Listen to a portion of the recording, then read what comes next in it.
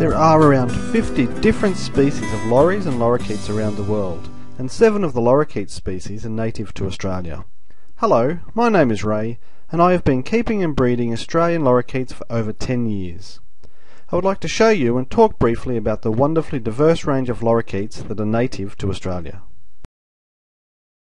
The rainbow lorikeet is the most common lorikeet in Australia. When someone mentions lorikeet, this is the bird that most people would think of. The rainbow is a beautifully multicoloured bird of blue, red, green and yellow, and is about 30 centimetres long.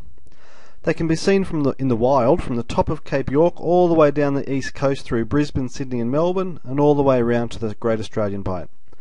There are also numerous other colonies popping up in other parts of Australia, mainly from escaped aviary birds. Rainbow lorikeets are very outgoing and inquisitive birds, and they're not afraid of humans. Rainbows can often be found eating from outdoor areas around houses, and this personality is also why they are such great popular pets and aviary birds.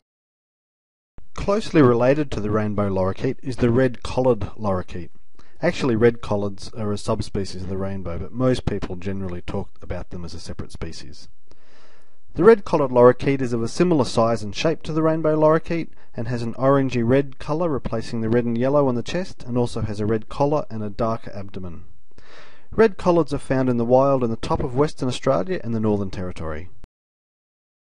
Also closely related to the rainbow and red-collared lorikeets is the scaly-breasted lorikeet.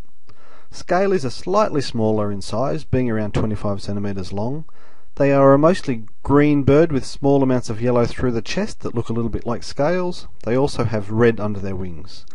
Scalies are found from the top of Cape York all the way down the east coast, almost all the way to Melbourne. The musk lorikeet is slightly smaller in length than the scaly, about 20 centimetres, but sturdily built through the body.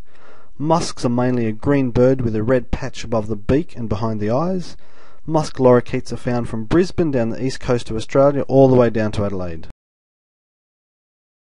The purple-crowned lorikeet is a small bird around 16 centimetres long, has a blue chest, red above the beak and purple on top of the head, called a crown. Purple-crowned lorikeets are found in the southern areas of Western Australia, South Australia and Victoria. As the name suggests, the little lorikeet is the smallest of the Australian lorikeets, around 16 centimetres long. The littles are mainly a green bird with a red face. Little lorikeets are found on the east coast of Australia, from far north Queensland all the way down to Adelaide. The varied lorikeet is a medium-sized bird around 20 centimetres in length. The varied lorikeet has a red-capped head, green body and wings with yellow flecks.